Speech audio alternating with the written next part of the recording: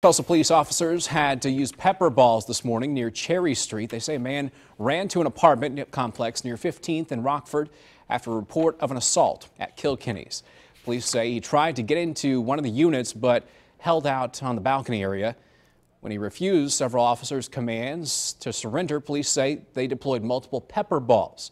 They were then able to be taken or take the man into custody. It's not clear what charges he'll be facing.